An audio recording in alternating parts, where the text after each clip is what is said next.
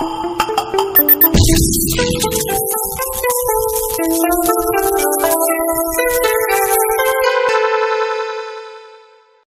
बात करते हैं क्रोस एल्डोल की। क्रोस एल्डोल में दो डिफरेंट एल्डिहाइड आपस में कंडेंस होते हैं। अब वो दोनों एल्डिहाइड जो है, उनमें अल्फ़ा एच हो भी सकता है, लेकिन कम से कम एक में तो अल्फ़ा एच होना ही चाहिए, या फिर दोनों में अल्फ़ा एच हो। तो हम यहाँ पे दोनों एग्ज़ाम्पल लिए हैं, आप देखिएगा।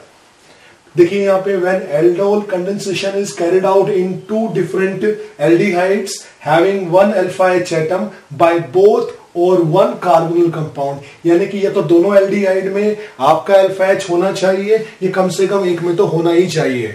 देखिए यहाँ पे ये एल्डिहाइड लिया है और यहाँ पे ये वाला एल्डिहाइड लिया है। दोनों अलग है, इसका नाम आप जानते हैं। इसका नाम होगा इथेनल और इसका नाम होगा प्रोपेनल तो आप देखिए यहाँ पर यहाँ पर दोनों एल्डिहाइड में अल्फ़ा एच है। तो देखिए यहाँ पर जब दोनों एल्डिहाइड में अल्फ़ा एच होगा तो वहाँ पर प्रोडक्ट बनते हैं चार। आप देख सकते हैं फ़र्स्ट, सेकंड, थर्ड, फोर्थ, क्योंकि दोनों एल्डिहाइड में अल्फ़ा एच है। पहली पॉसिबिलिटी ये है कि यहाँ पर देखिएगा कि यहाँ पर आप देख पा रहे हैं कि प्रोपेनल में और इथेनल में यहाँ पर अटैक किया है इस कार्बन पे। यहाँ से इनो लेट आयन ने, जो आपने कार्बन मैकेनिज्म आपने देखा था, आप देखेंगे यहाँ से कार्बन बनेगा C S two minus pen उठाइएगा practice कीजिएगा तो यहाँ से जब एच निकलेगा तो यहाँ बनेगा सी एस टू माइनस और वो यहाँ पर अटैक करेगा। तो प्रोडक्ट बना ये वाला।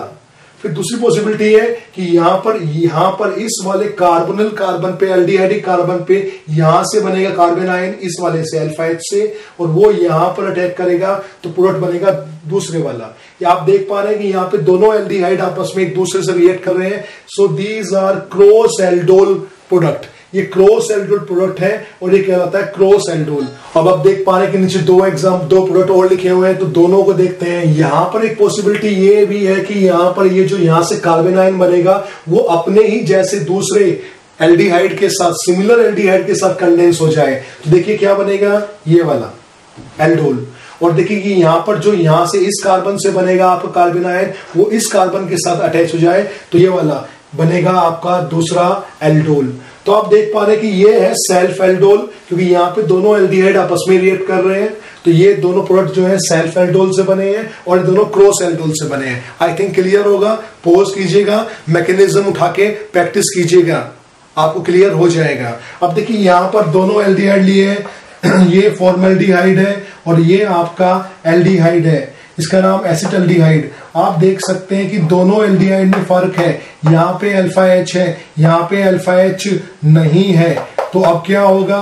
यहाँ पर प्रोडक्ट एक ही बनता है। आप देख पा रहे हैं कि यहाँ पर यहाँ से C H two minus alpha H से बनता है कार्बन आयन और वो कार्बन आयन इस एल्डिहाइडिक का जो कार्बन है यहाँ पे अटैक करेगा और ये बनेगा आपका एल्डोल ये C H two O H हो जाएगा C H two C H O आप देख पा रहे हैं तो यहाँ सिंगल ही बनेगा। यहाँ पर मैंने अगला स्टेप नहीं कराया है। अगला स्टेप आपने कराना है। अगले स्टेप में हम वाटर एलिमिनेट करेंगे। आप देख पा रहे हैं यहाँ से यहाँ से ओ एच और यहाँ से एस बॉन्ड यहाँ डबल हो जाएगा।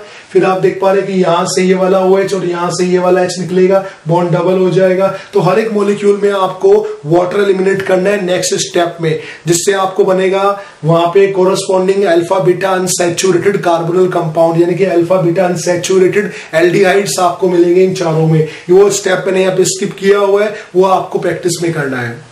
करते हैं नेक्स्ट एग्जांपल लेते हैं तो इस एग्जांपल पे आप देख रहे हैं कि नो अल्फ़ा एच यहाँ पर अल्फ़ा एच नहीं है, लेकिन यहाँ पर आप देख रहे हैं कि यहाँ पे अल्फ़ा एच है और यहाँ पे थ्री अल्फ़ा एच है।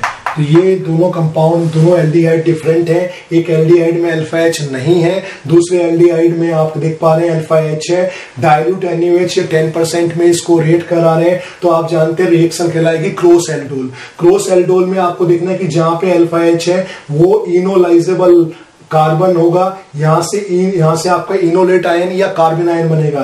तो यहाँ से सी एस टू माइनस बनेगा कार्बन आयन, और वो कार्बन आयन इस एल्डिहाइडिक कार्बन पे अटैक करके बनाएगा।